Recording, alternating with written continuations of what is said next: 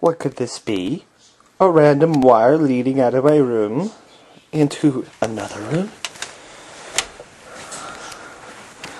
Following it, we see my external hard drive. Holy shit, what's going on here?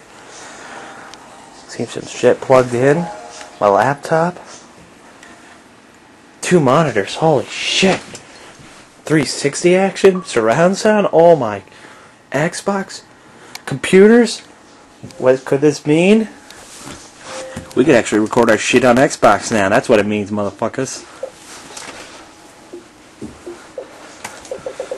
Uh, let's see what this looks like. All off. Alright, well, we're not playing with Xbox Live because this shit's pissing me off.